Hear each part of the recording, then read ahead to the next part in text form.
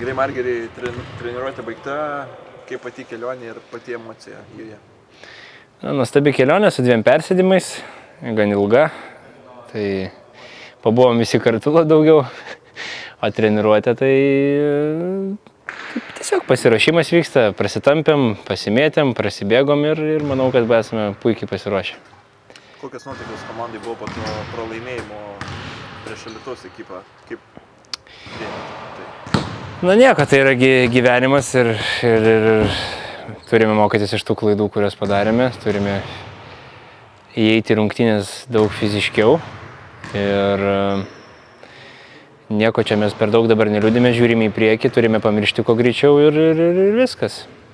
Žiūrint į šį varžovą, išvykoje, kiek ta pirma pergalė neturėtų užžiliuoti komandos kaip? Tai kaip ir sakiau, kad turime pamiršti rungtynę su Vulsais, tai taip turime pamiršti rung, pirmas rungtynę su, su Tesalonikais.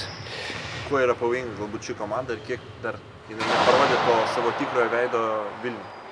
Na, jie daug prametė tokių gant lengvų metimų, tiek iš pokrepšio, tiek, tiek, tiek iš tritaškio zonos. Tai manau bus labai sunkios rungtynės ir turime pasiruošti būti fiziškai stiprus su jais ir tiek, tiek, tiek, tiek iš mentalinės pusės stiprus. Tai.